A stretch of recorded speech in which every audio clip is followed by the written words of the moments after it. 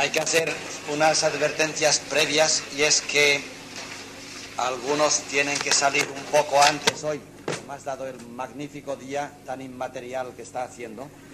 Conviene que si seamos concisos. Procuraré terminar en 20 minutos, algo así. En segundo lugar, si me sobra algún momento, todavía se pueden hacer preguntas los que las quieran hacer, pero parece que, por lo que he visto en el diálogo, sería bueno que si hay preguntas que hacer y que sean de volumen, como suelen ser, las den ustedes brevemente escritas y al día siguiente, en la clase siguiente, yo las explicaría. Esto tendría, creo que, dos ventajas. Primero, que no nos perderíamos en preguntas sin madurarlas bien. En segundo lugar, que la respuesta puede ser mucho más objetiva, la mía. Y todavía, en tercer lugar, que las preguntas, si se redactan, como obligan a ser concisos, me orientarán a mí para saber cómo debo dar las clases para que se entiendan mejor o para que no se entiendan mal o no se entiendan nada. En otras palabras, me parece que el sistema que se propone lo podríamos inaugurar dentro de 15 días, en la próxima lección.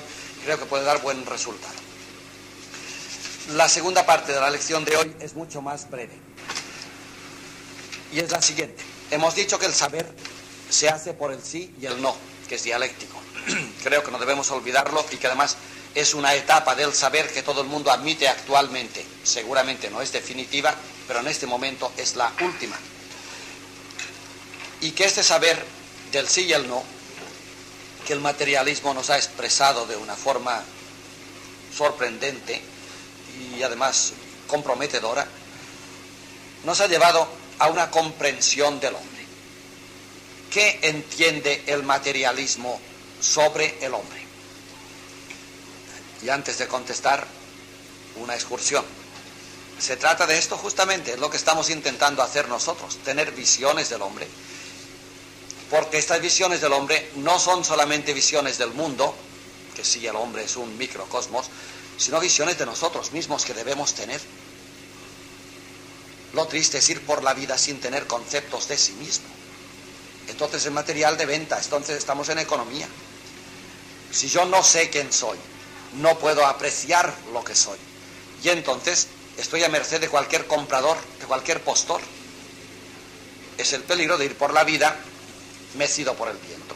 Tan pronto eres que sí, como eres que no, como tienes sentido, como no tienes sentido, como traicionas, como besas. Es el mal de no tener estructura interior.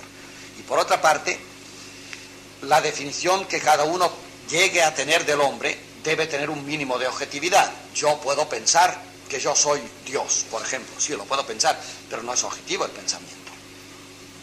Lo importante es que lo que yo piense de mí tenga un fundamento, por tanto, que piense de mí después de conocerme, o sea, que sea un pensamiento experimental, tal como se quiere también en el materialismo. Porque solamente sabiendo quién soy, puedo ser útil a mí mismo y a los demás. Porque si no sé quién soy, no solamente no soy útil, que esto es materialismo un poco superficial, sino que no soy nadie. Y eso sí es materialismo real. El hombre que no sabe quién es, no es. Porque como lo que es no lo sabe, no lo puede utilizar. Eso es muy triste. Y sobre todo sucede hoy. En un mundo en paz, la historia del mundo se repite en pequeño en cada momento. El día de hoy, tal como le veo ahí fuera, con sol, con alegría, siendo sábado además, es un mundo que no va a presentarnos graves problemas, me figuro, a los que estamos aquí dentro. Esto quiere decir que seamos lo que seamos, iremos por el sábado de hoy en paz y en alegría. Pero si en vez de ser un sábado fuera un día de trabajo, y además lloviendo o nevando o haciendo un gran vendaval, tendremos que echar mano de algo interior a nosotros para enfrentarnos con ese día malo que se nos presenta. Pues bien, el mundo de hoy es un día malo. Eso es bien claro. Bueno, malo y bueno, no he dicho todavía lo que es. ¿Quién nos dice que los días buenos son buenos y que los días malos son malos? Pregúntenlo a los agricultores, verán. Ese día de hoy es fatal para el campo qué es malo y qué es bueno. Digo que el tiempo que estamos viviendo, la época actual, es una época como un día malo, que está pidiendo de nosotros que nos saquemos del interior los mejores recursos que tengamos. De hecho, ustedes están asistiendo a una realidad que no se puede juzgar, pero que es real, digamos que es materialmente real, que es la siguiente. El mundo de hoy está atacándonos tan furiosamente desde fuera y desde dentro. O si se quiere, nos presenta unos desafíos tales, recuerden que es lo que hace historia el desafío, ¿eh? challenge de, de Toynbee, es definitivo. Lo que hace una cultura y un hombre se defina es el ataque que se le hace, el no. Si no hay no, no hay sí. Si de mí se solicita y se solicita cada vez más, como por ejemplo en la, en la universidad, vas a clase y se te pide y se te exige en cada examen más y más. Si de mí no se solicita, no voy a dar de mí lo que soy. Es posible que si no se me pide, ni siquiera llegue yo a descubrir que tengo para dar dentro. En cambio, un día malo, como me sacude y me solicita, voy a ver si saco fuerzas de mí para superar. Y me doy cuenta de que sí que hay fuerza. No la habría descubierto si el día no hubiese sido malo. Pues bien, el mundo de hoy es un constante challenge sobre nuestro ser. Nos está pidiendo cosas continuamente. Pero veamos lo que está pasando. Si el hombre no tiene definición, el hombre sucumbe ante el desafío. Y ahí tenemos que las realidades políticas, por ejemplo, ante un desafío gordo, sucumben. La realidad religiosa, la religiosa abstracta, la iglesia, el islamismo, o la religiosa completa mía, mi, catolicismo, mi cristianismo, mi islamismo, ante un ataque gordo, ceden. Ya no creo en Dios. Por ejemplo, la amistad. Yo tenía amigos y uno tras otro me han solicitado, pero en mal no, me han traicionado. No creo ya en la, amistad. O por ejemplo el dinero. Teníamos un, un rinconcito y con los impuestos y con la inflación, con la devaluación, es que ahora 20 millones no son nada. El dinero no es nada. Otro desengaño. ¿Tienen ustedes para adelante? No hay cosa que se sostenga. Respuesta del hombre, ¿cuál es? La falta de identidad. El hombre actual no tiene identidad. O sea, el día del exterior se ha puesto tan agresivo, con las uñas tan sacadas, que está arañando nuestro ser. Y al intentar nosotros responder al ataque de fuera, religioso, político, económico, familiar, piensen en la crisis matrimonial que estamos sufriendo todos, esta realidad, al atacarnos, la respuesta que yo tengo que dar, no me la encuentro. No puedo responder. Y entonces voy diciendo no continuamente, pues la política no sirve para nada, la religión no sirve para nada, la economía no vale nada, la amistad es un engaño, la familia, quién sabe si la familia la estamos llevando sin que deba ser así, el divorcio es la solución de la familia. Estamos respondiendo con lo que no somos, la falta de identidad. Eso estoy diciendo. Se trata de que a través de nuestra vida, lo que pretendemos durante estos breves cursos, se trata de que hagamos en el interior de nosotros una estructura personal y que tengamos una definición. Definición significa en filosofía despensa, recursos. Si yo no tengo definición, la primera bofetada que me den me tumba aquí está el hombre actual, tumbado. Si tengo definición, ya puede haber cosas adversas fuera que yo me sostengo sobre mi esqueleto. O si se quiere, tengo despensa. Y voy sacando de la despensa los recursos que necesito para responder al challenge de fuera. Me atacan con hambre, yo tengo pan en mi despensa, me la como. Me atacan con la economía, yo sin dinero veré de arreglarme. Es difícil, no lo aconsejo, pero veré de arreglarme, evidentemente. Me matan los, los amigos o los enemigos. Pues yo veré de seguir adelante prescindiendo de ellos si hace falta. Resulta que el mundo ahora está desmantelando su edificio anterior, todo lo que era válido para el pasado, y está montando un edificio nuevo en el cual no sé si podré vivir. Pues veré si saco recursos para adaptarme al nuevo sistema, a la sabana que acabamos de descubrir ahora, y salirme del bosque y desencaramarme del árbol y a ver si puedo vivir cazando en vez de vivir encaramado con mis frutos. Sacar recursos. El hombre a lo largo de la historia, a cada ataque que le ha venido del exterior, del interior, ha sacado su esqueleto y ha luchado y ha triunfado. Muchos han caído en la brecha, otros han seguido adelante y aquí estamos nosotros como fruto de un inmenso y glorioso pasado. Bueno, pues a ver si tenemos definición.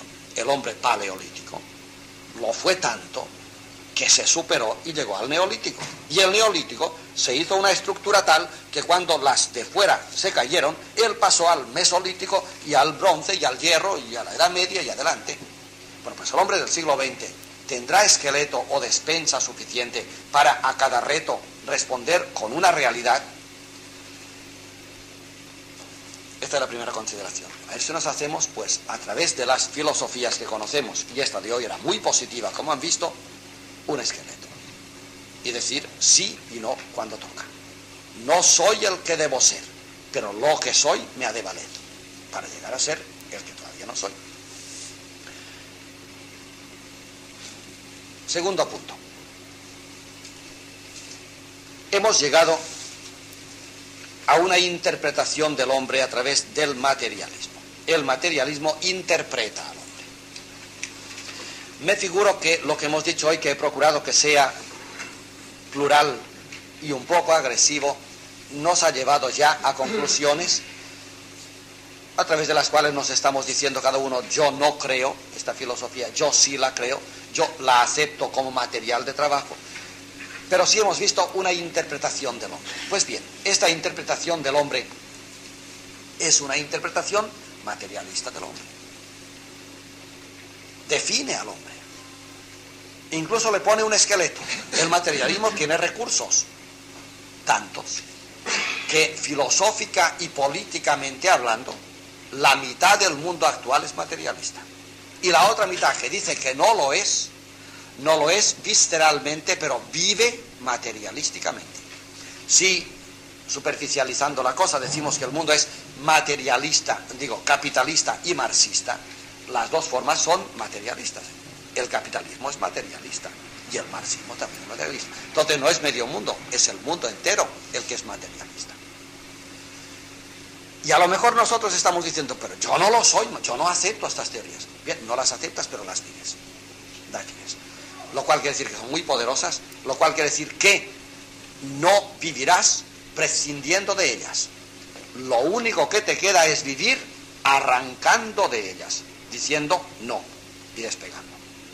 Pero no, diciendo, no, sí, pero así no se hace nada. O aceptas el materialismo y vives de él, que se puede vivir, o no lo aceptas, pero no aceptarlo es que lo conoces y dices, yo me voy de esta pista y despegas y levantas el vuelo. Es una interpretación del hombre. Ahora, yo quisiera subrayar lo siguiente. Si aceptamos el materialismo tal como está expuesto y tal como se ha madurado durante 300 años largos, se podría poner más, nos encontraríamos primero con que la definición del hombre es la siguiente. El hombre es materia incluso lo que no se cree que sea material del hombre es una de las posibilidades de la materia. El sentimiento y el pensamiento humano son formas estructurales de la materia, aun cuando no lo parece. Digo, esto ya es conclusión del materialismo, esto no es mío. El materialismo dice que el hombre es materia y que incluso las funciones que no parecen materiales del hombre son materiales, son composición y estructura muy superior, pero material. Igual que la desmaterialización de la materia es material. Por ejemplo, el átomo es la destrucción de la materia. Bueno, pero es la materia que se destruye a sí mismo. Por tanto, la materia al romper puede ser inmaterial, que no es ninguna realidad, es la muerte de la materia.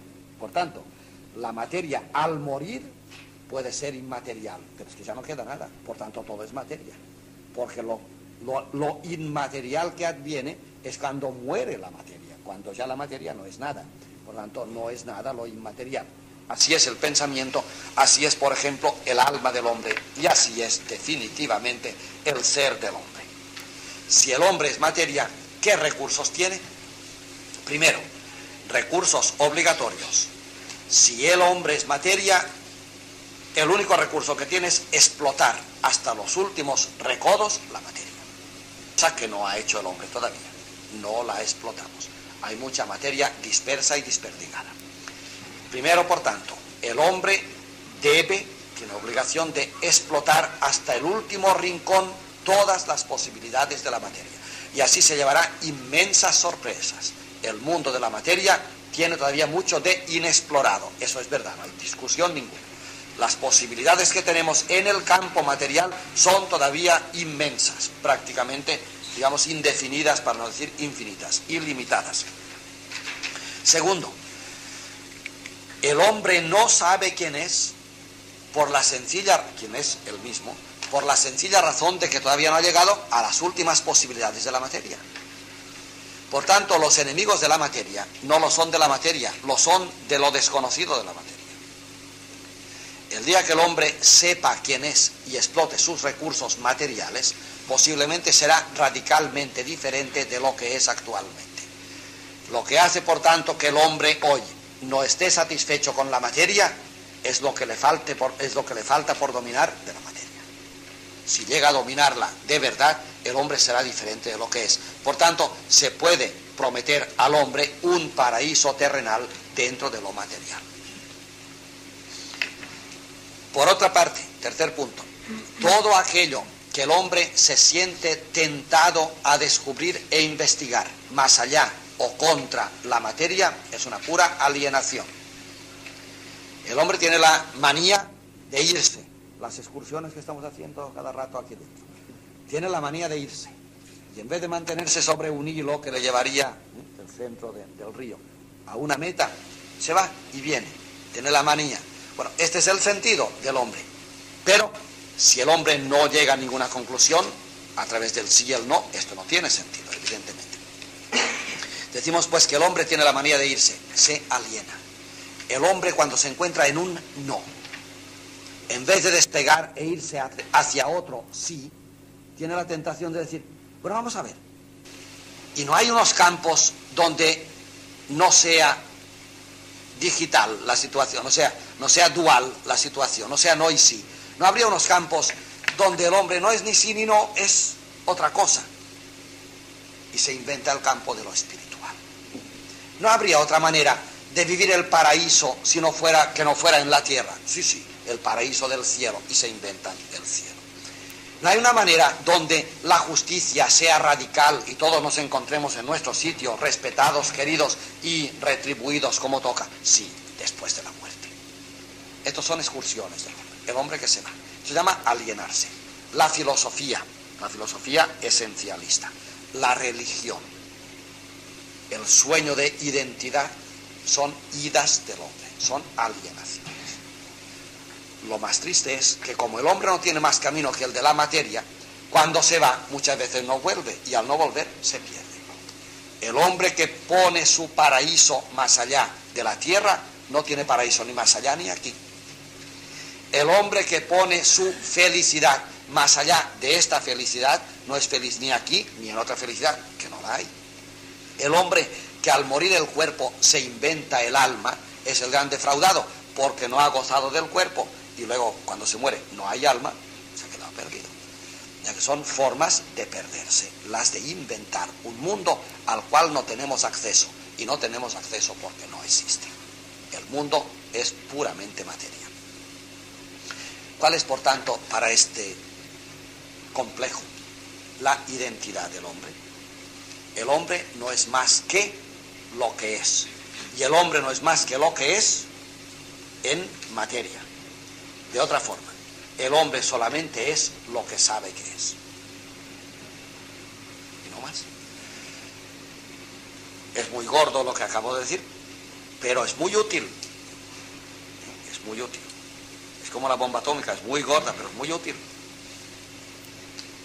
explíquenle ustedes a un barco y verán ustedes lo útil que es una, una bomba atómica, o a la electricidad, y verán ustedes cómo se ilumina un, país. Es muy útil porque nos hace reflexionar, tengan un poco de paciencia, sobre nosotros mismos, pero con, triple reflexión, que es la que quisiera que cerrara esta clase o lección o meditación sobre el materialismo. El hombre es lo que sabe que es, significa que el hombre fuera de sí no es nada. ven aquí ya ven el materialismo, ¿verdad? El hombre fuera de sí no es nada. El ser del hombre no es nada en ningún otro ser más que en sí mismo. Por tanto, si se inventan ustedes a Dios o a quien sea, en el ser de Dios, el ser mío no es nada. Claro, porque no hay Dios, evidentemente. El ser mío es mi ser en cuanto yo sé que es ser mío.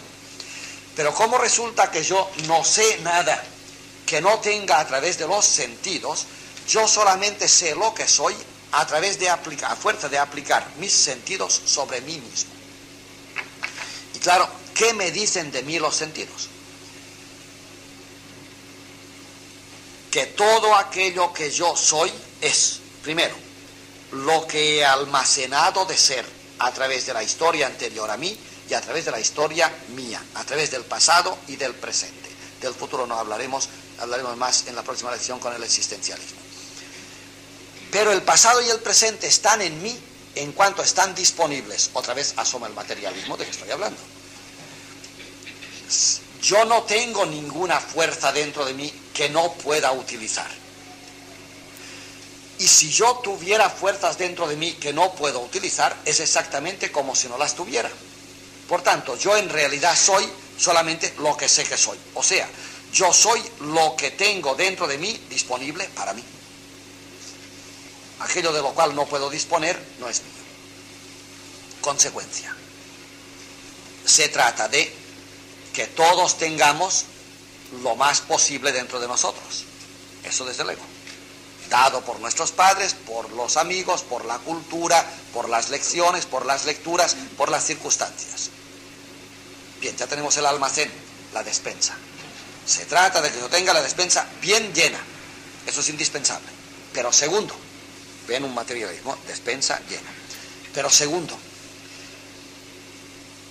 es que no basta que mi despensa esté llena que vaya llenándola constantemente con todas las solicitaciones que se hacen de mí en el exterior y en el interior. Se trata además de que yo sepa que está llena y que sepa cómo puedo echar mano de la plenitud de la despensa. Estas son las tres cosas. Llenar la despensa. Segundo, saber que la tenemos llena. Bueno, si no la tenemos llena, no lo sabremos, por tanto, hay que llenarla. Saber que la tenemos llena, porque claro, si yo tengo unas riquezas que no sé, no las utilizaré.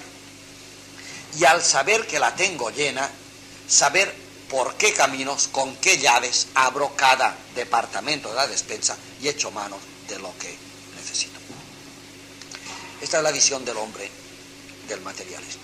Repito que es muy útil. Es indispensable que llenemos la despensa, seguro. Y segundo, es indispensable que sepamos que la tenemos llena. Esto no lo dominamos. El hombre tiene infinitas posibilidades dentro de sí que no utiliza. ¿Y cuándo es que el hombre utiliza estas posibilidades? Y sobre todo, cuando es que si no tiene acceso al armario, fuerza el armario con la llave que sea con tal de abrirlo, cuando se le acosa desde fuera. Tenemos un mundo tan agresivo que nos acosa desde todas partes. Es suerte, porque este mundo nos obliga a entrar dentro de nosotros y ver cómo voy a responder yo a este acoso. Y segundo, y tan rápidamente entramos y con tanta desazón entramos en el interior que ya ve que cogemos, queremos que abra rápidamente cualquier armario para echar mano de lo que hay adentro y responder. Eso es muy bueno. En otras palabras, y termino, el materialismo dice que una situación de no es la mejor de las situaciones. En otras palabras, posiblemente la historia humana nunca había sido tan apretada, acosada y a punto de estallar como la de hoy lo cual quiere decir nunca la historia había sido tan positiva como la de hoy. El estado de crisis es el estado más positivo de lo humano, justamente el estado de la materia. La materia es una crisis. La materia es la confrontación del sí y del no. Cuanto más yo conmigo o el mundo exterior conmigo estemos confrontados como sí y no, más es el conocimiento que tengo, más llena está la despensa, mejor es la respuesta y más corre la historia. La historia corre a ser material, evidentemente. Pero ya ven ustedes que el materialismo no está diciendo una gran cosa. La materia es tan grande que lo mejor que podemos hacer es apretarla y estallarla. Y eso es lo que está haciendo en torno de nosotros la materia sobre nosotros mismos. He dicho que seríamos cortos. Yo creo que lo mejor que vamos a hacer es marcharnos. Perdón que no haya diálogo, he alargado demasiado. Y el próximo día los que quieran que dialoguemos sobre algo, que apunten, hagan un apunte y así lo aclararemos. Muchas gracias por todo.